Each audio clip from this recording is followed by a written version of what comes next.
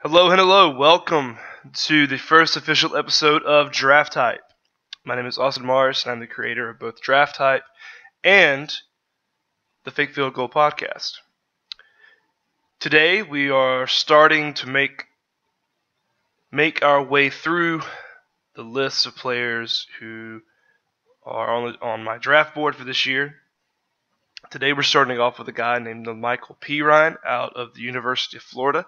He stands at 5'11, weighs 227 pounds. So far this year, he has 392 rushing yards on 86 attempts with a 4.56 average yard per carry, and he has uh, four touchdowns so far in the year. He's on par to hit the same stats that he did uh, in 2018 with 826 rushing yards Uh, on 134 carries with a 6.16 yard per carry average and seven touchdowns. Seen several games of this guy, and I have seen the game we're about to watch now. He is a back who I feel could be could be a late round steal. He's not a perfect running back by any means. He's definitely not going to be a, a top 15 pick at all, but he does have some talent that I believe is worth looking at. And so what we're going to do is we're going to examine the footage from this game right here against Vanderbilt last year. We're going to we're going to look at the plays that he he was a part of. We're going to look at his rushes and we're going to find the good, we're going to find the bad, and we're going to find the ugly. And so without further ado, let's jump right into this. As you see, it's a second and one. This is going to be a, uh, a play action pass play here that unfortunately is, as you see, tipped and is now intercepted. We go to the second play. It's just a simple pass play. Perine goes out into the flat. Quarterback can't do anything though because the rush gets to him. Second play here, we see this is another play action. The running back blocks. He does a great job of getting in the way. Let me just point out that that is something that is very important to look at in running backs. Are they active in the pass block game? Are they helping give their quarterback that little bit of extra time that they may need to get a throw off? You see here, he holds up number seven, lets his quarterback make the throw, and with forward progress, it's somewhat of a decent gain. see here, we got the man in motion. Safety blitzes, and it's a run play. And he's able to break it off and get probably five yards. Let's go back and watch that again. So here we go. Let's pause it right here at the handoff. We see that the hole is right here. There's a linebacker right here waiting for him. He then tries to do a little juke and jive to get away from the linebacker he's able to get by him just enough to get the first down.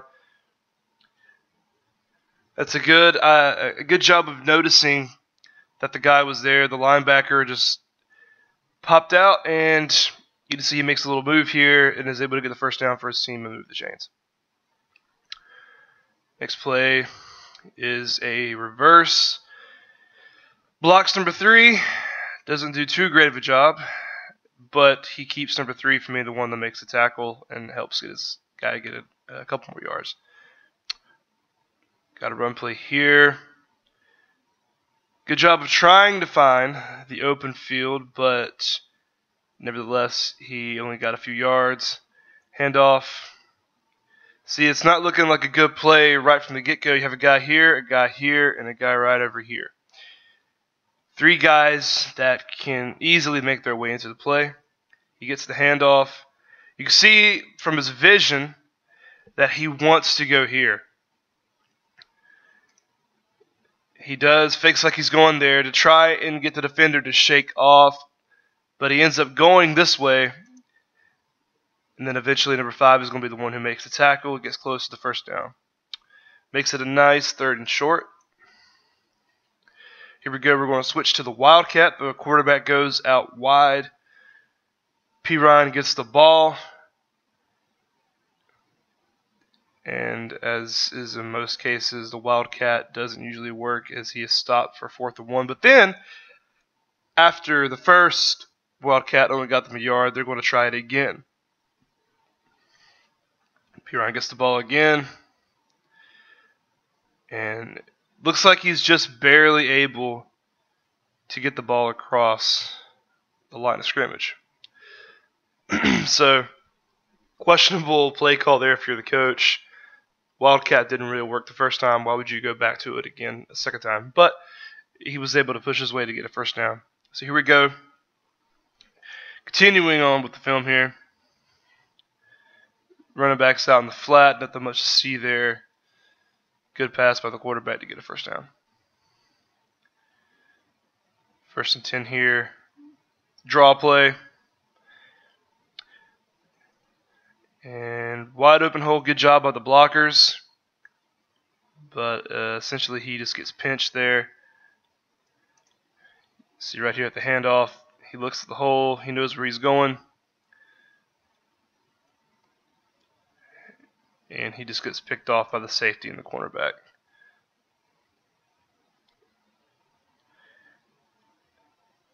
Let's look at it again.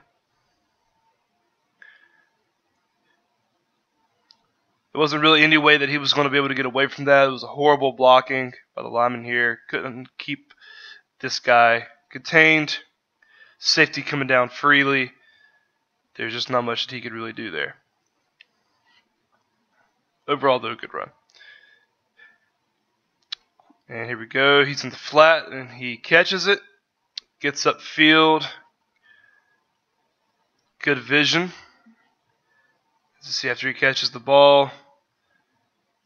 You see that he could possibly use his down wide receiver as a pick. And he uses that to help get extra yardage he needs to get the first down. It's almost like he sees that the the corner here is in a bad position, so uses that to advantage, cuts inside, and is able to get the first down before the corner can turn around.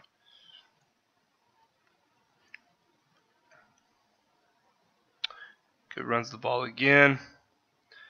Good job of lowering his shoulder to bowl over his man keeps fighting and gets a nice nine yards on that play. You see right here at the handoff.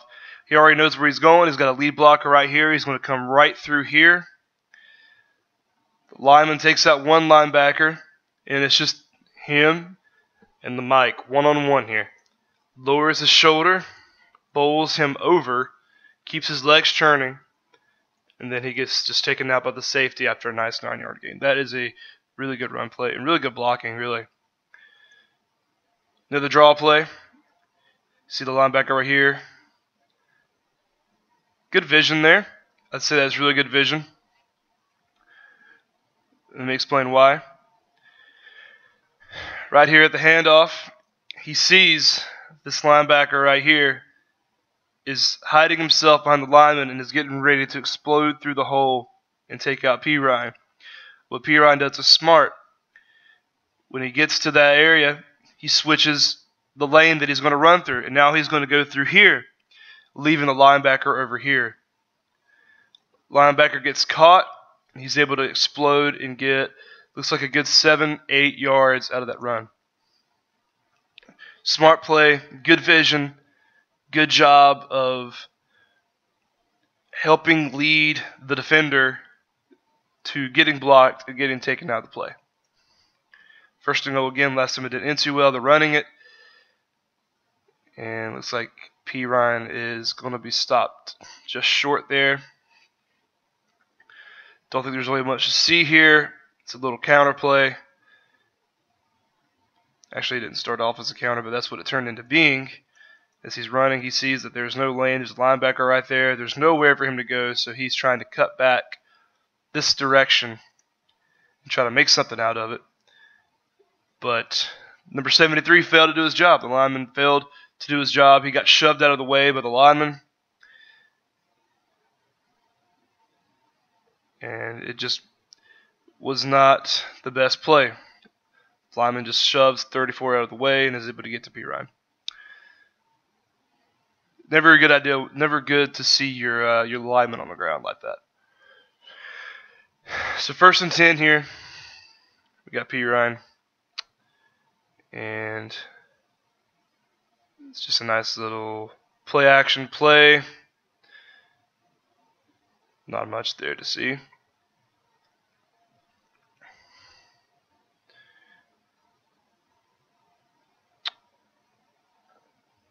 Little run play inside. Doesn't really get much.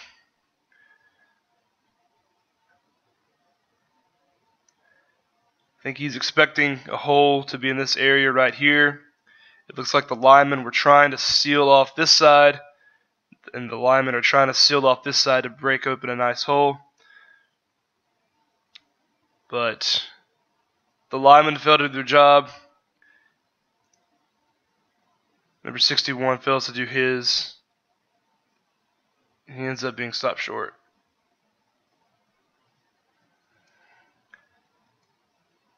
Here we go again. The play action involved in the pass game pushes the defender to the outside to let his quarterback get some running room. And the quarterback is able to shake a defender and get a first down.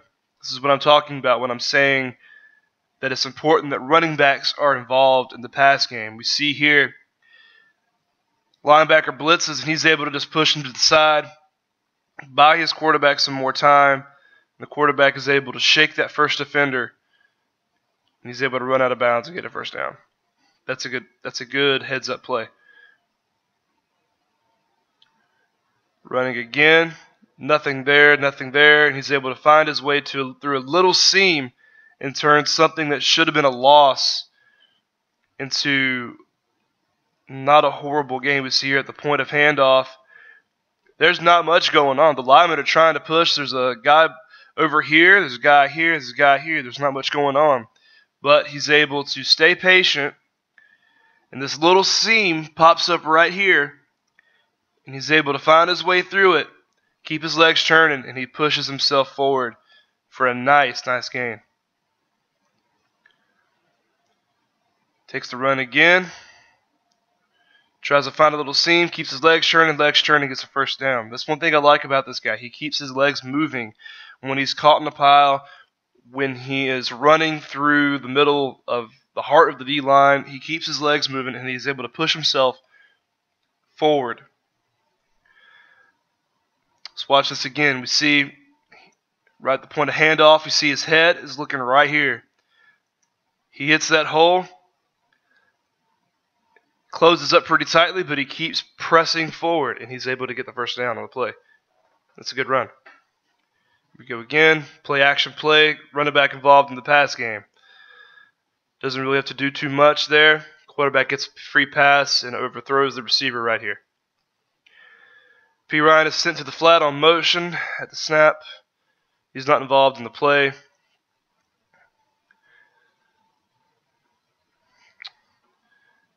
Once again, set in motion to the flat. This time he is involved in the play, catches it here. And this is what I like about this kid. Cuts upfield. And that's why I think he has some value to him because he is involved in the pass game. Granted, he's no Christian McCaffrey. He's no Darren Sproles. But it's good to see that his quarterback trusts him to make that catch. You see here, this guy is coming free he just turns on a little boost, gets him out of the way. He sees this guy coming down right here, cuts up, makes the man miss, and gets some nice yards after contact. That's what you want to see out of a running back. I, I want to see how he does in the open field when when there are no D linemen around and there are no linebackers.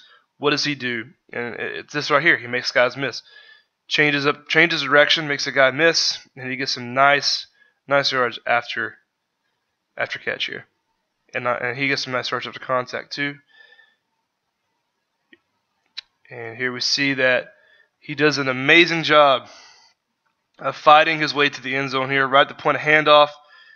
You see, for some reason, he's looking over here. Apparently, that's where the hole was supposed to be, but the hole is not there. It's right here. So he makes a move, gets around that lineman, runs through the gap, This defender gets a hand on him and slows him down. He is one on one with this guy.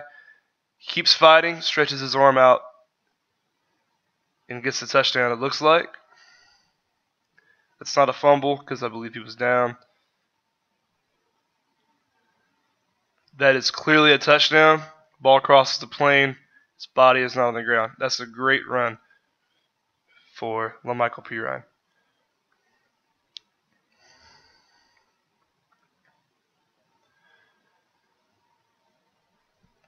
And we see what's called a touchdown.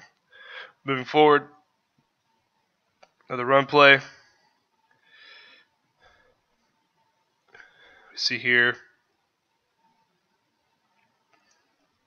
snap right at the handoff. We see where he's looking. He's looking for his hole to be right here around lineman number 66. But he sees the defender breaking free, so he knows that's not an option. But he doesn't. I don't think he sees number 10 right here, who comes and makes uh, a nice little tackle. But a nice, nice job of getting a nice little four-yard gain there.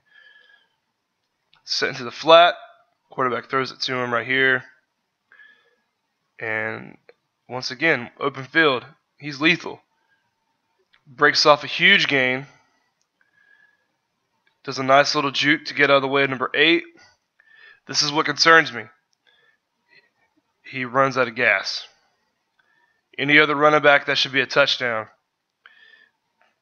But it seems like right after he makes this move, he starts to decelerate, starts to slow down, and then the defender is able to make a tackle. It's a nice play, but it makes me question whether or not he has the endurance to make a run that size. Because if, if that was in the NFL, that would have been a touchdown for most any running back.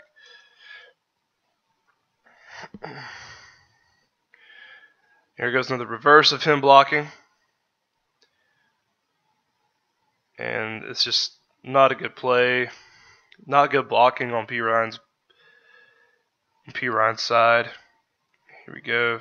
I don't know. I don't know what that was, but it's a little option. Perine gets the ball, uses blockers. Not much else you can do about that. You see here, you can't cut inside because there's a lineman here, there's a linebacker right here. So his only choice is to try and go around. And as we see, the defender is trying to push his receiver to this side. And that's exactly what happens, and it limits Perine to looks like a four yard gain. Perine's again sent into the flat. Ball thrown a little high, but he's able to adjust to make the catch. He's able to fight and get very, very close to the first down. See what happens right after the catch. He gets down He's looking. He realizes that this is not an option. He needs to cut away. But 28 is able to break free from number 88 and wrap up and make the tackle. Run play here.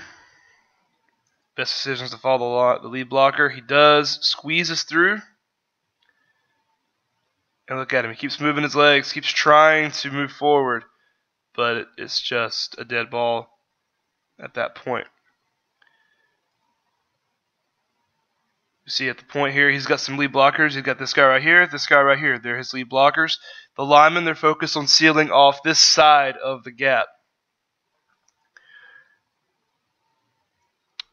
And we see that they're able to do so, but they're failing as these guys are breaking free. Perine's able to squeeze through, but he gets slowed down and is then taken out.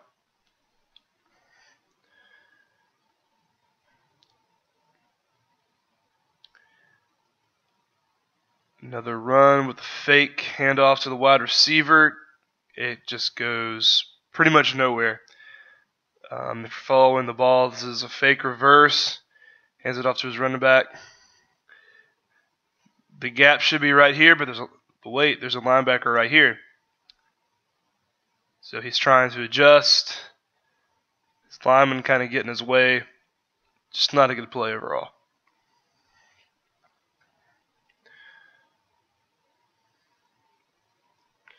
Got a third and three here.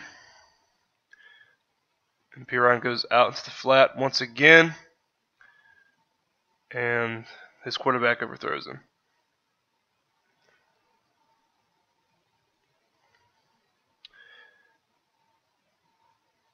I'm questioning why Perine decided to go through that gap. Because there was nothing there for him. We see him at the point of handoff. He's, he's looking to follow his lead blocker. His blocker right here is taking on number three. And he should have tried to bounce it outside. That would have likely been the smart decision because number three is out the play. He's getting he's getting blocked at the, at the legs. This lead blocker's got this guy right here. It'd have been a smart decision to try and bounce it outside and get some extra yardage there because there's nothing here for him. But he is able to get a few yards and make it a nice third and short. Similar play, running with the lead blocker. He's able to fight and get some of those extra yards. Right here you see he's looking this area, but everything just kind of closes up. But he's able to make something out of it and get a first down for his team. Got a heavy blitz for a QB sneak. First down. Perine really didn't do anything on the play except confirm what the ref said, and it was a first down. First and 10 at the goal line, or right, by, right before the goal line. And Perine runs a little pass play again. Nothing that he really did. And it's a touchdown for Florida. Good comeback, I might say. Run play. Cuts up field. Really nice play. Really, really nice play there. Uh, if you're looking at it at first glance, you're thinking that play is going nowhere, but we see right at the handoff here. His head's pointing this way, and he sees that's not an option. There's a dude here, dude here. So he realizes that he has to make a decision. He cuts up this way, and he finds that little sliver, that little sliver that's going to open up right here. He finds that little sliver of a gap that's sealed off by these two guys here. Finds it, runs through it. That was a really nice play because you see right here, he plants his foot, cuts through that, and makes it for a first down. Really, really nice play. Go again. Another run play to the outside. Has a lead blocker. Trying to get the corner. Pushes him to block number five. And is able to get a nice few extra yards. Really nice play.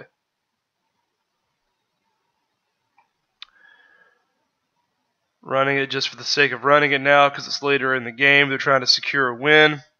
See him keeping, he keeps fighting, keeps fighting.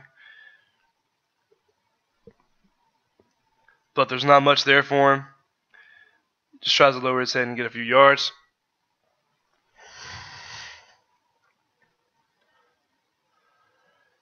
And it's a dead ball.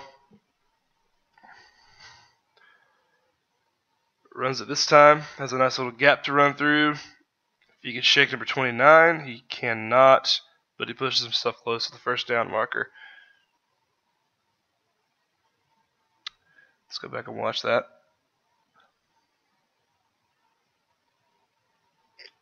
All right, look at the handoff.